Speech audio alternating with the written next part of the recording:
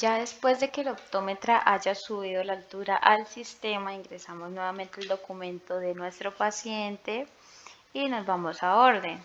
Aquí ya encontraremos que nuestro optómetra ya nos subió nuestra fórmula completa con altura incluida. Ahora seleccionamos lo que es el lente que vamos a venderle a el paciente. En este caso va a ser un Shamir ¿El lente tiene o no antirreflejo? Sí, el lente sí tiene, pero vas a preguntarle al paciente si desea que el lente lo traiga. En este caso, sí. Seleccionas acá el descuento que le diste y vas a agregar el tema del antirreflejo. Entonces vas a darle ahí agregar.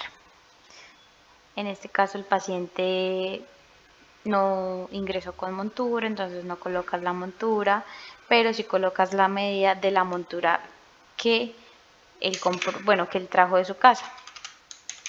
Entonces pones acá chan, chan, chan, chan, llenas aquí.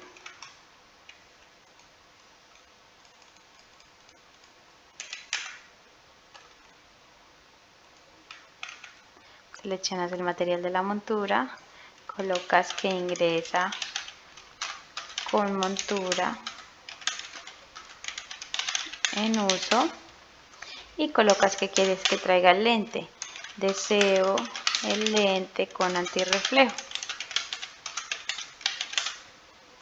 En observaciones de orden de trabajo vas a colocar el total de la compra, los descuentos que diste, vas a colocar las características de que ingresó con montura en uso,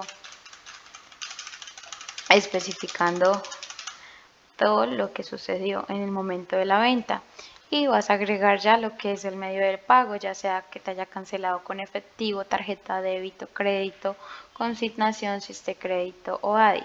Cuando se cancela con tarjetas o con Siste Crédito, consignación, siempre te va a pedir un número de voucher. En este caso, él nos abonó 200 mil con tarjeta débito, siempre debes ingresar el número de voucher. Eh, un ejemplo, si es este número de voucher, lo ingresas y nos vamos a realizar la orden.